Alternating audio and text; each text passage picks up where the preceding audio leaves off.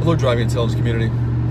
Well, I'm driving my 225,000 mile 2002 F-150. I've been doing a lot of work over the last years, as you've seen on my channel. Uh, something I haven't gone over in quite a long time is transmission. Uh, the 4R70W in this transmission is the original transmission, and I've got the original torque converter. Some time ago, uh, I I can't remember, it's about a couple years now, that uh, I was having problems with overdrive shudder, and all the professionals and experts were telling me that uh, I've definitely got a failing torque converter, and then I'm going to have to pull the transmission to resolve that.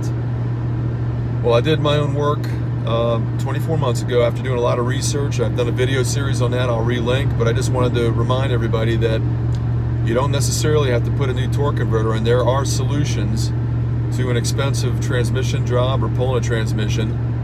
Uh, I have zero torque converter shudder.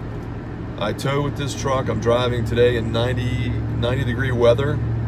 It's extremely warm outside and uh, in fact my transmission temperatures stay much cooler because of the work I've done. So for those of you that started following my channel since I created the uh, the 4R70W series, uh, this is just a, uh, a little tickler that you could go back and look at that if you're having any problems with your F-150 and see that uh, there are some options to a, a, transmission rebuild or replacement of a torque converter. Thanks for watching.